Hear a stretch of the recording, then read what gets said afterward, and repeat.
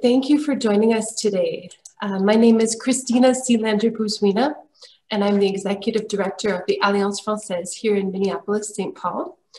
I'm also a board member of the Federation of Alliance Francaise chapters uh, here in the US, and I'm the Honorary Consul of France for the state of Minnesota, South Dakota, and North Dakota. I am delighted to be your host for this event as part of National French Week, a celebration of all things French in schools and communities, and that is organized by our friends at the American Association of Teachers of French.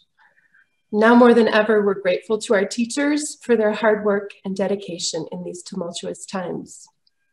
Today's event is organized and hosted by the Federation of Alliance Francaise in the United States, and that's a nationwide organization of Alliance chapters across the country. The Federation supports local Alliance chapters in their mission to promote the French language and French-speaking cultures. Be sure to check the Federation's website for upcoming nationwide events. This includes Thursday's presentation, Uncovering the Secrets and the History of the Paris Metro, and that will be with Charles Coulon, who is Vice President of the Alliance Francaise in DuPage, Illinois, and also my colleague on the Federation Board of Directors. Before we get started, just a couple of housekeeping notes here. Um, we have put you on mute for the initial part of the presentation. And for an optimal experience, we ask that you keep your microphone on mute. Um, in the question and answer session at the end, if you ask a question, we may ask you to unmute your microphone at that time. Also, we recommend or suggest you set your view option in Zoom to speaker rather than gallery. That way you'll see Marva in addition to the PowerPoint slides. Um, and finally, please feel free to use the chat function of Zoom to enter your comments and any questions you'd like to ask Marva at the end of her presentation. Um, I think that's it for housekeeping. We're looking at a program of one hour just to give you a, a little idea of how long we'd like your attention. I'm delighted to introduce our featured speaker, Professor Marva Barnett, author and professor emerita from University of Virginia. She is a true expert on Victor Hugo, and a testament to her passion for Victor Hugo is the sheer shelf space that his canon takes up in her library, Marva's bookshelves hold more than 41 inches of Victor Hugo's work. She has a PhD in Romance languages and literatures from Harvard University. Marva also is, um, as I said, professor emerita at University of Virginia, where she taught for 30 years and hosted many Victor Hugo related events.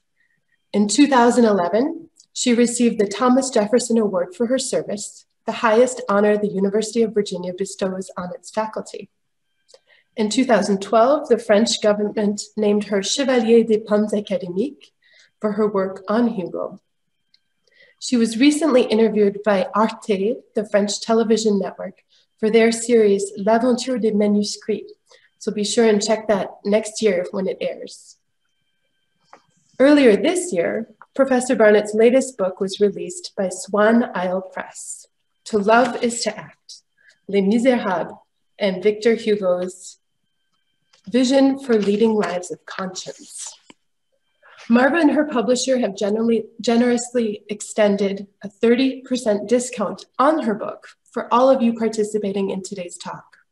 You should have received the promo code in the email confirmation with your registration, which also had the Zoom connection information.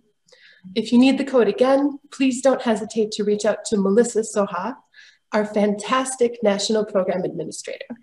By the way, Melissa is the only staff member at the Federation and is truly a one-woman show, supporting leaders from more than 100 Alliance Francaise chapters across the country. And today she's helping manage technology. Uh, merci infiniment, Melissa, pour toute ton aide. Okay, aimer c'est agir. Those were words Victor Hugo wrote three days before he passed away.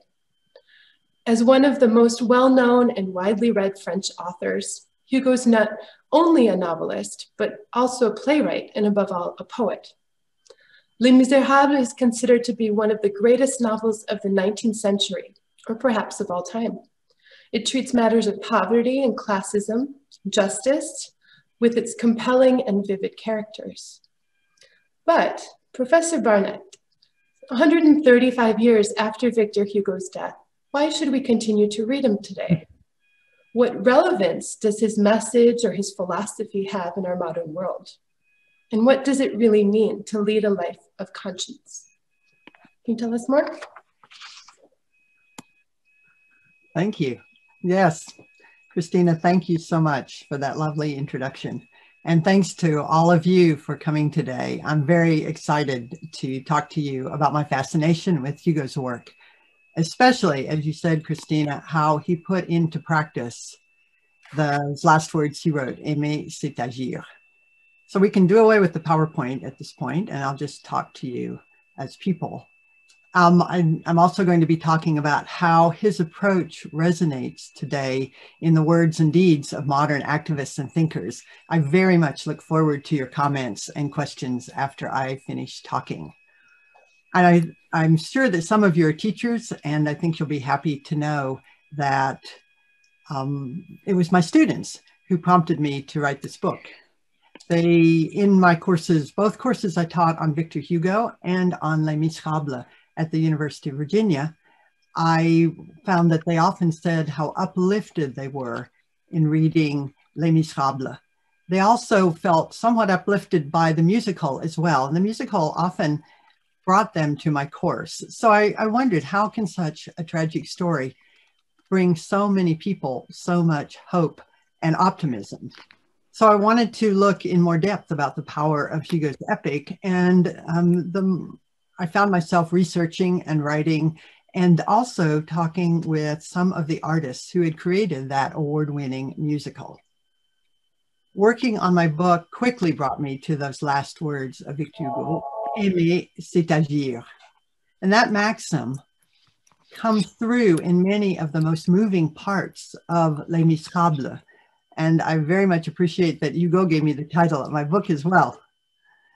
His maxim encapsulates, um, you know, how he lived his life and how he wrote Les Miserables. And I believe that in saying that, in writing that, he's saying when we care about something or someone, we do something about it. We're motivated by our love. So I had begun my adventure of exploring Les Miserables by wanting to write to fans of Les Mis, as I like to call the musical.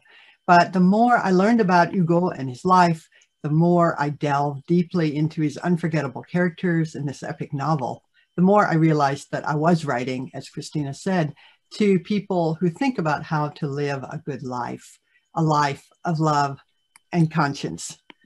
I'm impressed by Hugo's humanity and by sensitivity to human foibles and challenges, and overall his optimism about our potential. And all of this despite the many sad events in his life, assuming, I don't know how much you know about Hugo, but a very quick survey of some of the, the, the, the saddest notes.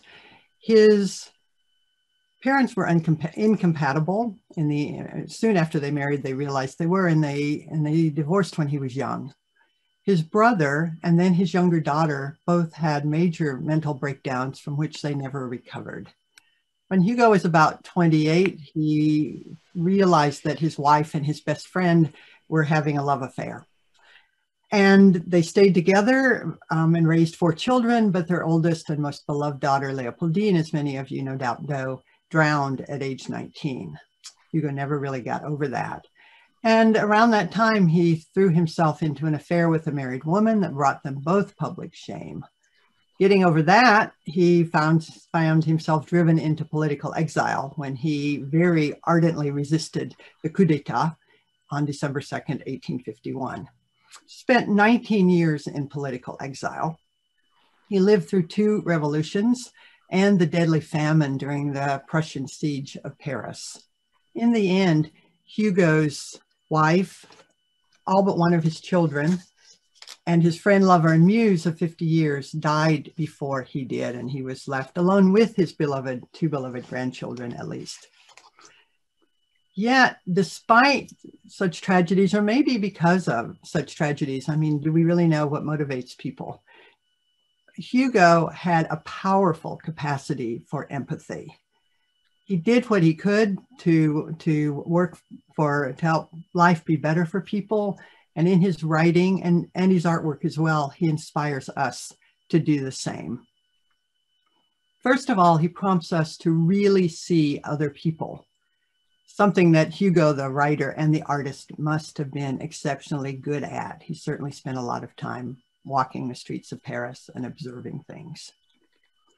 We see, we get a sense of the levels of his observational skill and his empathy in a journal entry that many people believe inspired Les Miserables. I thought, I had thought it inspired Les Miserables. And then I looked, I did a simple thing. I looked at the dates and discovered that he had begun Les Miserables about three, over three months before he wrote this journal entry.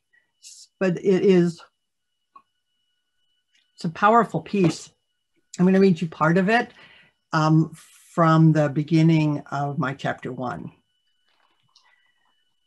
On February 22nd, 1846, Hugo wrote, It was a beautiful, very cold day, despite the midnight, the midday sun. I was coming down the Rue de Tournon in Paris. I saw coming down that route, that street, a man being led by soldiers. The man was blonde, pale, thin, distraught. He was about 30, wearing rough canvas pants. His naked, scraped feet and wooden clogs had bloody, bloody scraps of cloth wrapped around his ankles to make do as socks. His short peasant smock muddied down the back, showed that he regularly slept outdoors. He was hatless, with bristling hair. Under his arm, he had a loaf of bread. People were saying that he had stolen the bread, and that was why they were taking him away. So Hugo continues and tells how he watched the blond man and noticed what he was watching a large, elegant carriage emblazoned with a ducal crown. Through its open window, they could see a dazzlingly beautiful woman in black velvet sitting on a seat upholstered in yellow damask. Laughing, she played with a charming toddler who was tucked up in ribbons, lace, and furs. So Hugo continued in his journal. This woman did not see this dreadful man who was looking at her. I stood there locked in thought. For me, this man was no longer a man. He was the specter of wretchedness. He was, in full daylight, in sunlight, the deformed, dismal apparition of a revolution still plunged in shadows, but on its way. Once this man perceives that this woman exists, and the woman does not perceive that the man is there, catastrophe is inevitable. With his simple journal observation, Hugo shows us that conscience begins with seeing, and seeing should lead to caring. On that cold day, Hugo sees people's lives both as they are and as they should be. The desperate man, unhappily, sees too. The wealthy woman does not even try. Each person presents a dilemma of conscience that is just as relevant to us today. If I were in this scene, I'd be one of the financially lucky ones, the woman in the carriage most likely parked in my car, engrossed in a national public radio story. What if we are that bystander? Are we paying attention to others' lives and caring about what we see? If not, what will open our eyes to misery around us? Or what if we are the hungry man? Would we steal the bread? In either case, being either person, what does our conscience tell us to do? Suppose, on the other hand, we are as observant as Hugo. Even without Hugo's insight and writing skill, I hope I'd be puzzling over what underlies the man's thinness and troubled demeanor. If that destitute, probably homeless man stole the bread, as everyone says, he made the wrong decision. No matter how hungry he is, he doesn't have the right to steal. But that makes me wonder, how can people who were born in poverty, or who lack education and personal connections, or who have just had a run of bad luck, how can they pull themselves back up? Can I do anything to help individuals before or even after they've fallen so far? Or can I do something to move other people or society towards helping more? That is Hugo's point in Les Miserables, where he shows the humanity that such people have. Gavroche, Eponine, Fantine, Jean Valjean. We need to really see each other and respond to what we see. Of course, Hugo does not have all the answers. Even though he understands this distraught man's plight, for instance, he cannot undo his crime, release him from the soldiers, or remake his life. What Hugo does, however, is raise our awareness of misery in the world and exhort us to do what we can. He brings Les Miserables to life in ways that encourage us to feel concern for these wretched people, even knowing that they are fictional. So from what, such caring, from such love, grow Hugo's guiding principles, and they are what drive the essays in To Love is to Act. So I'd like to give you an overview of the book by showing you a few of the illustrations and chapter openers. And so we'll see a few more slides here. So here is the manuscript, which I'm very happy to have been able to include in my book. This is Hugo writing Aimer, c'est agir, um, while he was um, in bed with um, pulmonary congestion that, the, that killed him three days later. To love is to act. And one way that Hugo put love into action was, you'll see in the next slide, offering healthy lunches to children on the island of Guernsey. So we, we can have the next slide, please. So you see Hugo in the white hat. He had read that children would be much healthier if they could have meat and wine. Interesting thought. Uh, once a week. And so at the time, in spring of 1862, at the time Les Miserables was being published, he and his wife Adele, who's not pictured here, and the, uh, their staff began offering weekly lunches to um, about 10 or 12 Guernsey children, whom you see here, while they were in exile. They did this every week for the next eight years, going up to where they, and you would invite children, they would invite children they saw on the street, as many as 40, 45, all, the, all they could find. So that was one of his actions prompted by love. From that place of love, we can do a lot. The next slide shows that from a place of love, we can forgive. This is a still from the 2012 film the moment when Bishop Myriel has already forgiven Jean Valjean, played here by Hugh Jackman, for stealing his silver place settings and is giving um, the silver candlesticks, which was the last pos valuable possession, the last possession the bishop had from his former, former regular life life. From that place of love, we can also open ourselves up to change. Next slide the bishop didn't have a complete impact on Jean Valjean. This is um, this is the film with Jean Gabin, um, showing a moment we often don't see and, and isn't and is not included in the musical, where Valjean unthinkingly steals um, a, a, very tiny coin from this chimney sweep and then realizes what he has become and launches himself toward his re redemption. The next slide shows that from a place of love and connected to our sense of love is following our conscience. I love this drawing by Hugo, conscience in, in the face of a bad action. Find it very alive and, um, and, and moving for me. So conscience tells us what is morally right, obviously. And what is morally right, Hugo argued, is often not the same thing as what's legal. So in the next slide, you'll see the um, chapter that I could li like to call either Valjean or Javert, the line from the musical. This is the confrontation scene from with Inspector Javert Colm Wilkinson as Valjean in the original Broadway production, where we see um, in this chapter, I talk about how important, immensely important it was to Victor Hugo to confront immoral legalities, things that are legal but are immoral as Jean Valjean is always doing what's right in the face of Javert's absolute fixation on the law, whether it's right or wrong. Hugo cared a lot about a lot of issues. The two that I'd like to show you in the next slide, you'll see the first of two drawings of Hugo's drawings against the death penalty. He had an absolute horror of execution, found the death penalty to be, death penalty to be an immoral law. This one is called Ecce Lex in Latin. Both these titles are in Latin. In Latin, behold the law, which of course echoes the words of Pontius Pilate. And then the next, uh, next slide shows the effect of the guillotine. And if you look closely at the bottom of this um, painting, in effect, drawing painting, you'll see that Hugo has written justitia, justice, in Latin in the blood of the guillotine person in the paving stones.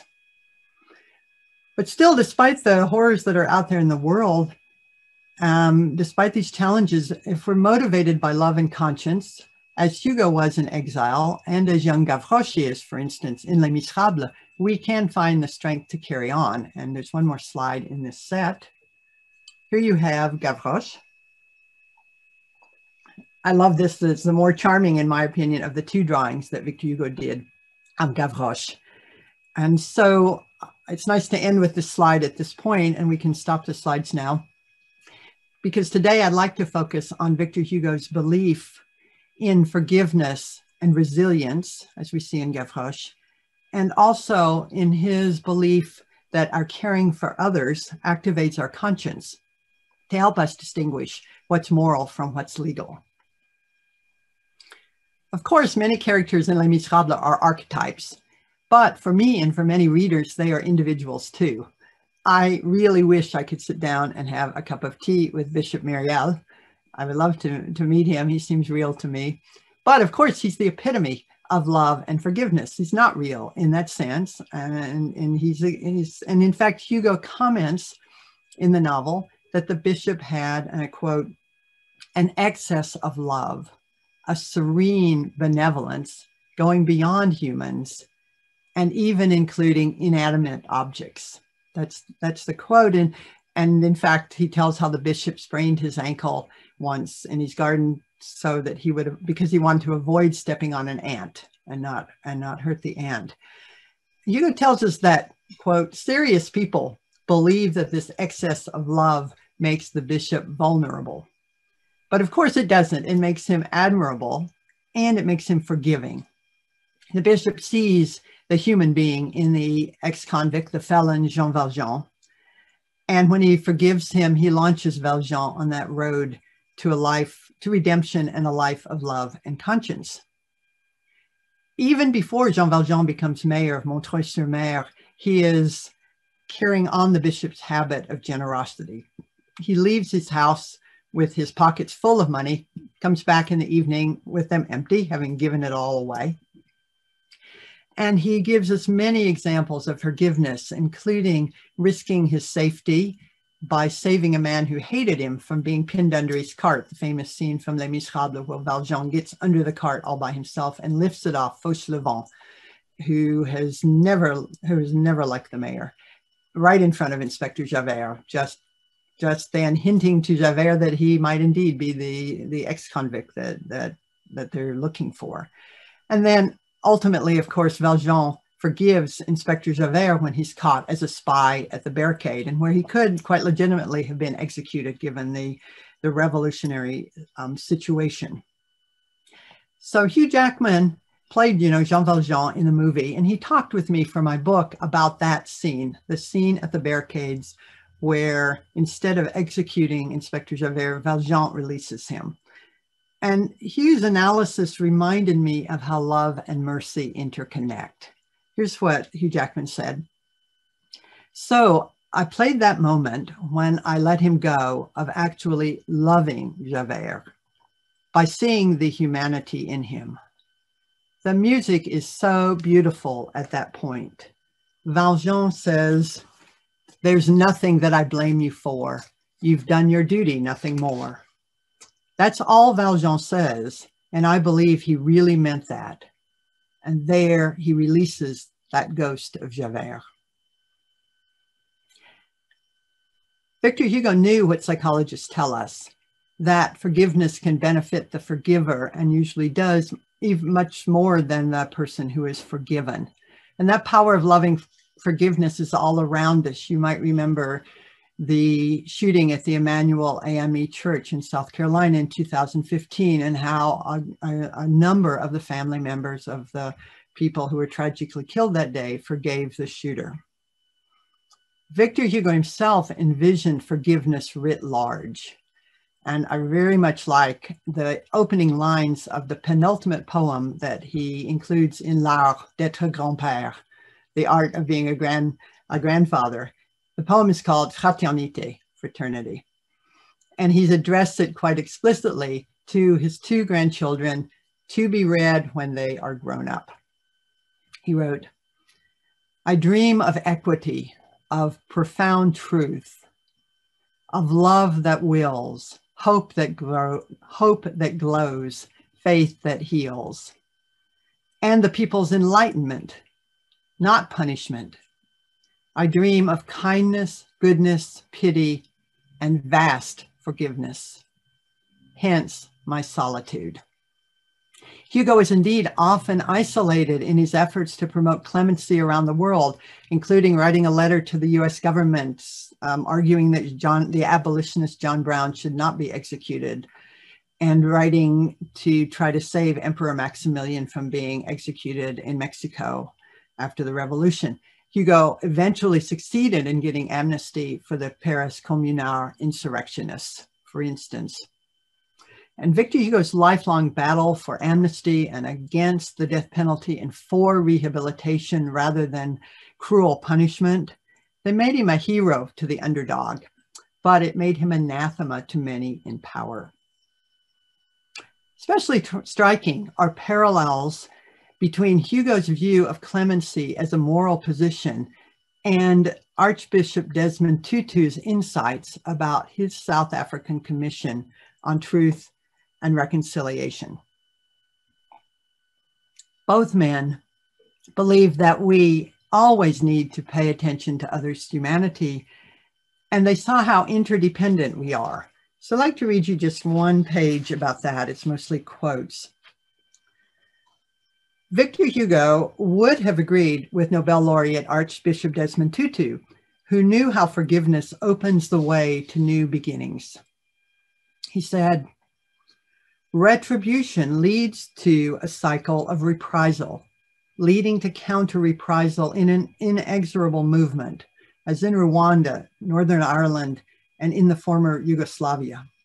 The only thing that can break that cycle making possible a new beginning is forgiveness.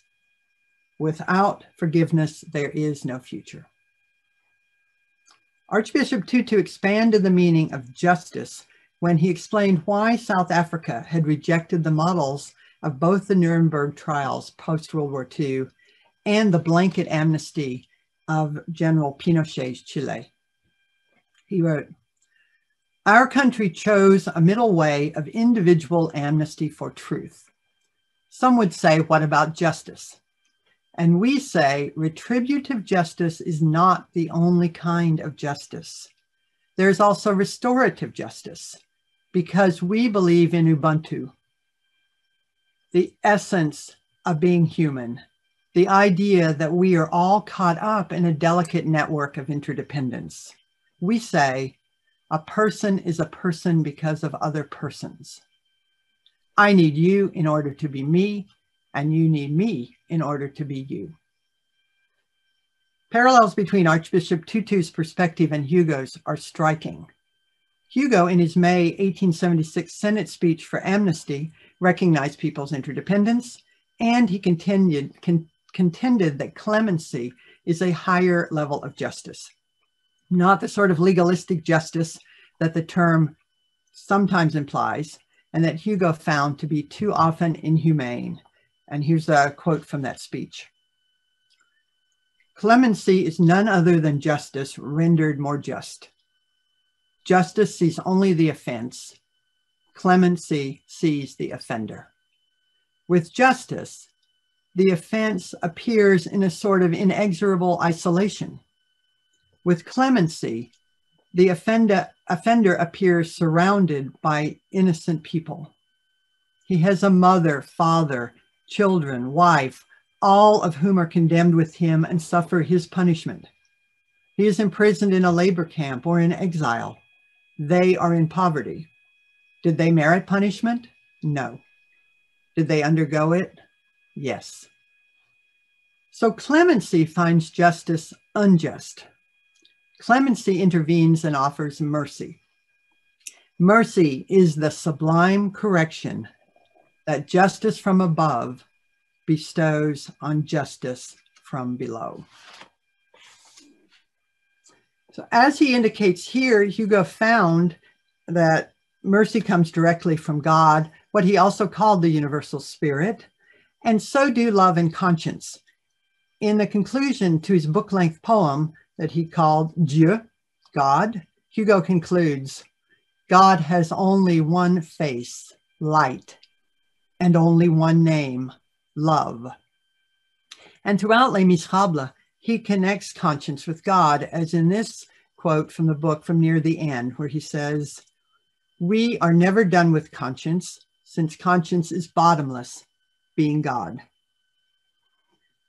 Today we face this moral versus legal question in, I would say off the top of my head, sort of a lot of different situations. The unequal rate of conviction for Black Americans um, and the number of Black Americans in prison, some of the disputes over immigration at our borders, the continued existence of the death penalty. Those are the ones that pop first into my mind. And I was intrigued by reading about Alabama attorney Bryan Stevenson. Bryan Stevenson shows us numerous cases where legal maneuvering overwhelmed moral decisions in his best-selling book, Just Mercy, also a film that I, that I thought was extremely good as well. I was struck by how powerfully Stevenson, like Hugo, again makes a case for seeing people's humanity. In Just Mercy, Stevenson focuses on the case of Walter McMillian, who was railroaded for a murder he knew absolutely nothing about. And we follow through how that happened and how, with the help of Stevenson and his staff, he was finally vindicated. But beyond the specifics of the criminal justice system, Stevenson explicitly links true justice with mercy. Mercy is a, a rich word, including, of course, ideas of both compassion and a disposition to forgive. And Stevenson writes, mercy is just when it is rooted in hopefulness and freely given. Mercy is most empowering, liberating, and transformative when it is offered to the undeserving. Stevenson's here pinpointing, obviously, the link between mercy and grace. And like Hugo, knows that to be truly human, to be truly just, we must be humane and act fairly toward everyone. Working with so many people who've been so unfairly treated, Stevenson concludes powerfully, I think. He wrote, I've come to believe that the true measure of our commitment to justice, the character of our society, our commitment to the rule of law, fairness, and equality cannot be measured by how we treat the privileged, the well-to-do, the respected, and powerful among us. The true measure of our character is how we treat the poor, the disfavored, the accused, the incarcerated, and the condemned. Victor Hugo went even farther, declaring, the rights of all the weak make up the duties of all the strong. Embodied in that question of what's moral versus what's legal then is again our capacity to care for others that ability to love also gives us remarkable resilience. And of course, Jean Valjean is resilient, but I really wanted to talk with you today about Gavroche. You probably know Gavroche, even if you haven't read the novel.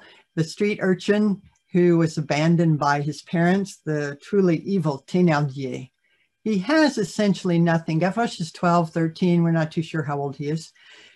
But he is, Hugo tells us, joyous because he is free. Gavroche is a true delight. He provides at times comic relief to the novel, but he's also a role model of generosity and resilience.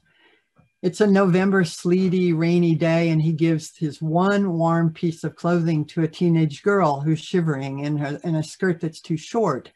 And then he picks up two little boys that, that are lost in the streets, and he, he uses his last sou to buy a piece of bread and then gives them the bigger pieces. In working on my book, I was surprised and, of course, impressed to see that Gavroche's sources of resilience are very often those recommended by modern psychologists. Two that I focused on, to focus on in To Love is to Act are Viktor Frankl and Adam Grant. The Austrian neuro neurologist and psychiatrist Viktor Frankl, you may have read his book. I recommend it highly. Man's Search for Meaning made a lot of difference to me in college. He was imprisoned in several Nazi, Nazi concentration camps, and he survived because he had a breakthrough realization, as he tells us in the book. Everything can be taken from a person but one thing, the last of the human freedoms, to choose one's attitude in any given set of circumstances, to choose one's own way. And I ran into Adam Grant, who's an organizational psychologist, when I read a book that he wrote with Sheryl Sandberg about how she found joy, ways to build resilience and find joy after her 47 year old husband died suddenly and unexpectedly from heart failure. Their book is called Option B, and there they explore how reaching out to others helps people not only survive grief, but also have personal growth that they call post-traumatic growth. So what's the connection with Gavroche?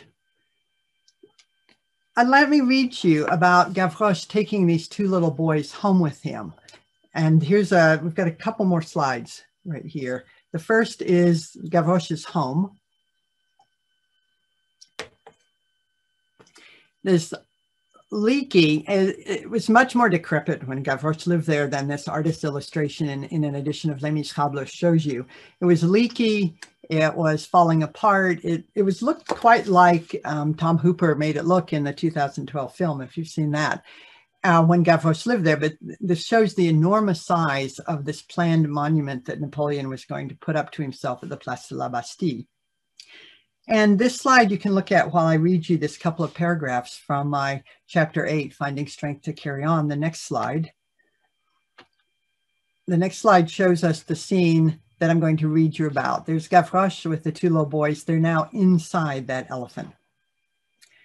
Gavroche easily scrambles up the elephant's leg through a hole into its belly and then helps the boys climb a rope. Inside, Gavroche continually draws on his sense of humor and as Viktor Frankl recommends, he chooses how to think about the situation. Mocking his strange abode, Gavroche jokes with his guests. Let's begin by telling the porter we're not at home, as he pulls a plank over the hole. He goes on to show us a great deal about how to remain resilient using techniques that reflect what experts today recommend. Gavroche makes the best of what he has in effect employing Sandberg and Grant's option B technique. For instance, Gavroche has fabricated that tent to protect himself from drips and from the thousands of rats who've taken up residence in the rotting structure. He reduces or eliminates his own discomfort by empathizing with the five-year-old who is frightened by hearing the rats gnawing at the tent. Calming the little boy by telling him, oh, they're just mice, Gavroche encourages him to hold his hand passing on, as Hugo explicitly tells us, his quote, courage and strength. Gavroche also uses what um, my husband and I like to call the bright side Barnett technique. It kind of gets on my husband's nerves, but I'm, I can't help myself. Bright side Barnett technique is a version I, I learned of Sandberg and Grant's focusing on worst case scenarios. When something goes wrong, it can help us gain perspective to recognize how things could be worse. So hearing the boys worry that it's dark inside the elephant, Gavroche makes the point that because they have a candle, being inside the elephant is better than being outside where it is seriously dark and where they would be much more uncomfortable in the rain and the cold. And we can end the slideshow now. Even if you hesitate to read the brilliant thousand plus pages of Les Miserables, if you haven't already had that great pleasure, I really encourage you to read the sections about Gavroche.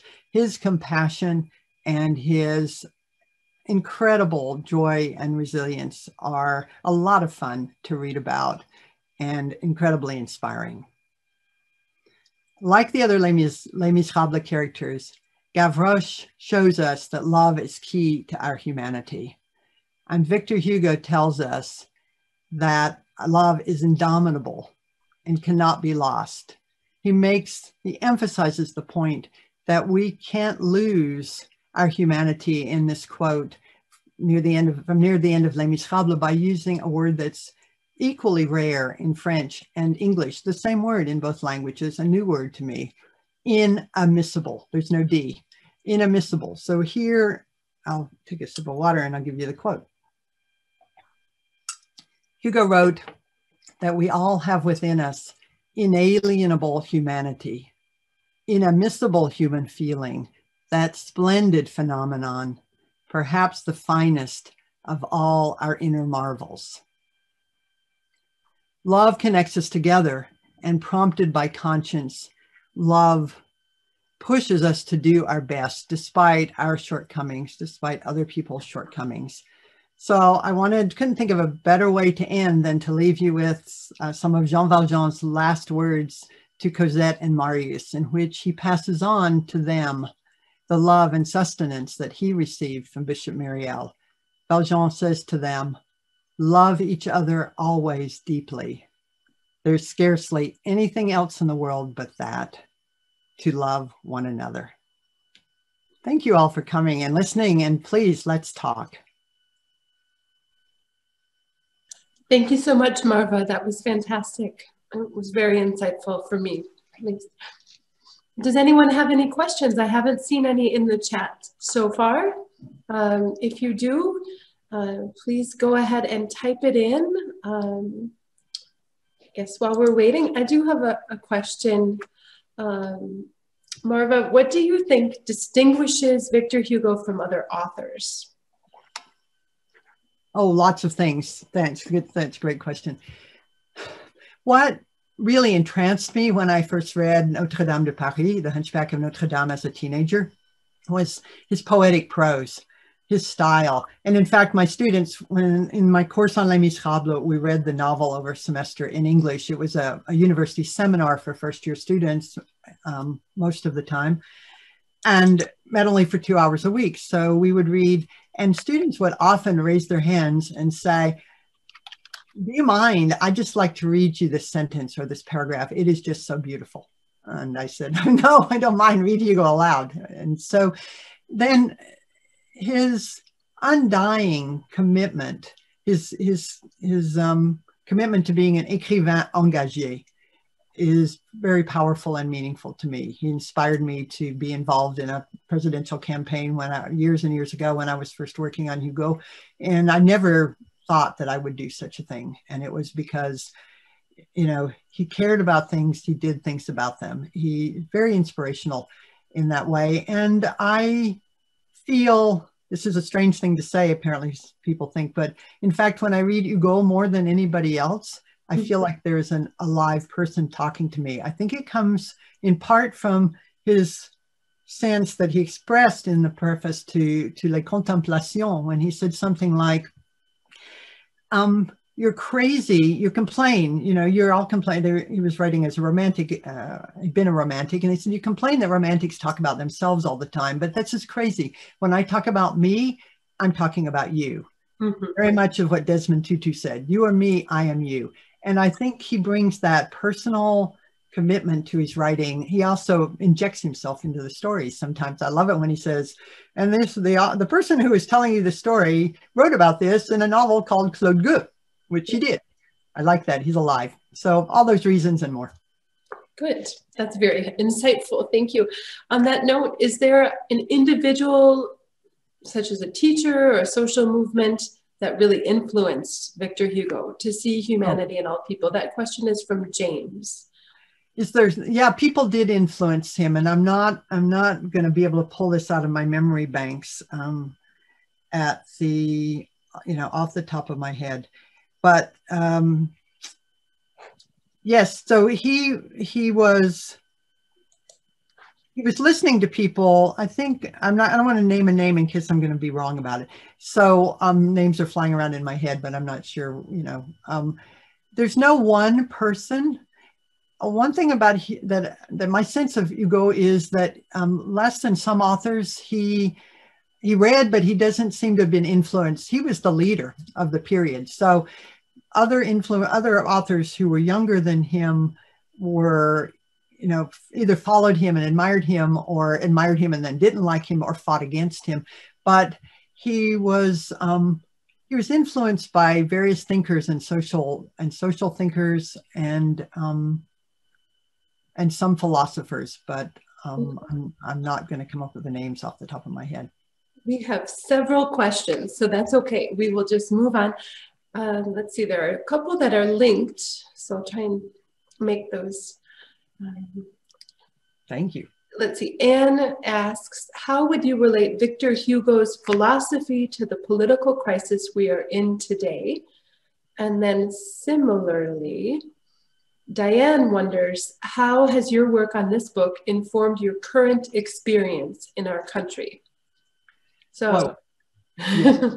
all right. So, yeah, they're related. Um, the humanity uh, we have a divided nation. This is, I mean, to me, and, and all, there are many, many, many concerns uh, in the world right now and in, in the United States right now. But a nation divided against itself cannot stand has popped into my head, and you know, since the election, at the time of the election, and since the the fact of the number of votes is is, is striking, and so uh, that there's so many people, and that the divide has become so big. Seeing each other's humanity um, seeing that everybody has foibles and, and challenges and, um, and, and thinking that way, I think I, that's what I'm channeling now. So that actually, I guess, answers, that's my main answer to the second question.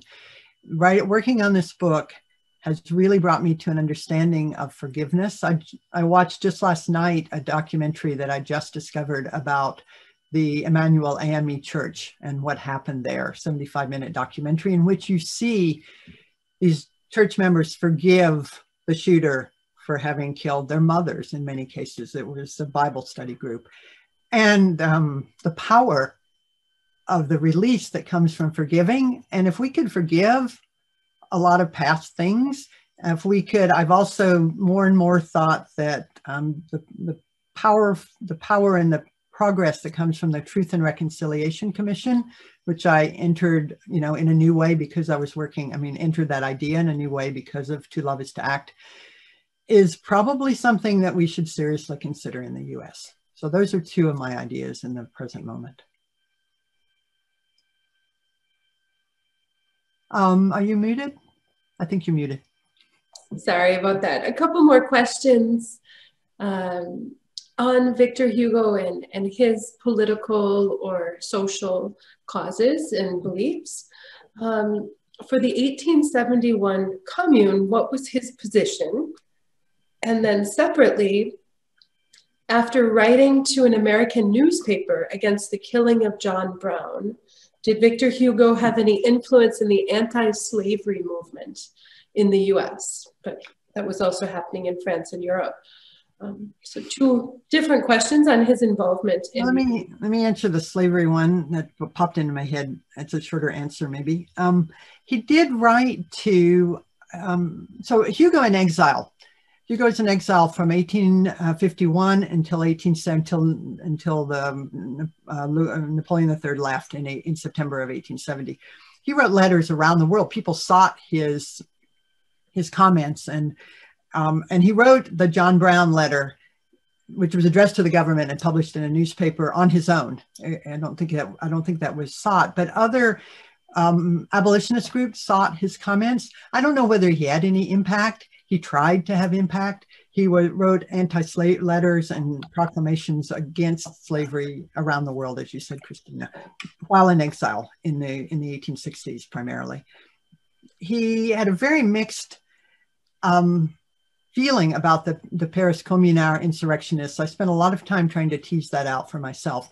He agreed with some of their goals, many of their goals to make you know life better for the average person and that kind of that kind of thing. He really disagreed with the violence of their actions and he did not support the Paris Commune, which makes it all the more powerful. I tell this story in um, the Why Forgive chapter, makes it so powerful that um, so as the Paris Commune, as the insurrection started, Hugo's son, older son Charles, had an, died of apoplexy in the in Bordeaux, I think he was in the south of France. They brought him back. He, all these family members, aside from Hugo, who's in the Panthéon, of course, they're in Père Lachaise Cemetery. So they were doing Charles's funeral in Père Lachaise when the Commune broke out and so Hugo, you know, but but the but they let they parted to let they said, oh, it's Victor Hugo. We just let let this happen, and then he had to go to Brussels to take care of Charles's estate. And from his home in Brussels, he offered amnesty to the any the fleeing communards who were being gunned down. Uh, you know, you may have seen the monument in Père Lachaise where they were just you know where they were just mowed down, and many National Guard members were killed. It was a very bloody thing. So he offered them amnesty and then he continued to fight. And it was in the 18, late 1870s, 18, late 1870s, I believe. I don't have the date in my mind, when they did finally grant amnesty, something like eight to 10 years after the commune, and let the communards who were still alive come back from exile. Thank you. Got several very interesting questions. Um, couple literary questions, if we can do two or three at a time again. Um, could you comment on the book Victor Hugo Vient de Mourir by Judith Perrignon? Uh, we have Armando who's reading it as part of a French course. Cool. And then another uh, participant asked if you could compare Victor Hugo with Charles Dickens. Okay, so the Victor Hugo Vient de Mourir, I really enjoyed it. But it, it's, she's a journalist who is fictionalized, who did a lot of research um, about Victor Hugo at, at the time Victor Hugo died. And then really it's about the political conflict and arguments and battles around his funeral. And because you know, it was because of Victor Hugo and all of this work, the kind of thing I've been talking about, and his contributions to the French Republic, that the Republican side of the, the country wanted to deconsecrate Saint Genevieve Church, which had been deconsecrated under the revolution, then reconsecrated as a Catholic church. And they did decide in the end to make it what is now the Panthéon, that building, no longer a Catholic church, and bury the great men and now women with Simone Veil of, of France, inter them in the Panthéon. So that conflict and the different um, the socialists and the anarchists and the Parti de l'Ordre and all the different people and how they're pulling and pushing are come to life in that little book. So I don't know how accurate it is. I do know that she did a lot of research. Lots of interesting, with Dickens, many interesting parallels. Really, they were aiming it seems to Hugo, you know, explicitly in his epigraph says, as long as the three problems of the century exist for men, women, and children, books such as books like this one cannot be useless. This book is a a, a, book to inspire and educate. And, and Charles Dickens was doing the same thing. Dickens did come and visit Hugo at the in his what is now the Maison de Victor Hugo in the Place des Vosges. And uh, thought he was very, quote, very interesting from head to toe. He didn't say a lot about him. And I don't, I never, I haven't found anywhere where Hugo talks about Dickens. Interesting. Well, we're almost out of time. We yeah. do have a couple other questions. How was Hugo influenced by religion? And what about the American philosopher Thoreau and the belief that the state isn't always moral? Would you speak to those briefly as we wrap up here. No wonder I like, I'd forgotten that quote from Thoreau. I love Thoreau as well. I have to go back. Thank you. and Read that. Um, I don't know of any connections between Thoreau and Hugo. Uh, so let me go to that immense question. How is Hugo affected by religion? I mean, what do we have? Um, a minute and a half. Good luck. Uh, oh my gosh. Well, okay, bottom line, bottom line, um, Hugo was a, um, as an adult, Hugo rarely went to church. His children were married in church. He was, as far as anyone knows, never baptized. They had to finagle the paperwork for him and Adele to marry in the church. So they married in the church. But in the end, the older he got, and, and I, I, said in my in my talk, I mentioned he calls he uses the word Dieu a lot, but he also calls it calls this this thing l'infini, l'esprit universel. He has many words that echo for me with Eastern religious thought. And I did explore his library at Hauteville House on Guernsey. It's a wonderful place to visit. If you get a chance, they've completely renovated the house. I haven't seen it yet because of the pandemic. Can't wait. Beautiful. Hugo did the interior decor there, but he had a library. So he was there in Guernsey for 15 years in exile. And in his library, he had a number of books about different religions of the world. And when the bishops avoid stepping on the ant, there's a sense of, and, and Hugo is explicit in some of his poetry about reincarnation. In the end, in his long poem called Religion and Religions. He says all and in Dieu, he shows that all established no established religion is is a good thing. It's it's there they get in the way between the person and God. So Hugo had a lifelong search for understanding what this power beyond us. He always believed in what we tend to call God. He always believed in this power, but he didn't reach that power through established religion, including Catholicism. Wonderful. Well, I wish we had time for several more questions, but Professor Barnett, thank you so much for this beautiful talk and this really thoughtful um, reflection on Victor Hugo and society today and, and um, living a, a conscious, a conscientious life. So it's, it's really been a pleasure listening to you. Thank you to all of our participants from Alliance Française chapters across the country and AATF friends as well. Um, and please stay tuned for upcoming events with the Federation, our national organization of Alliance Française chapters. So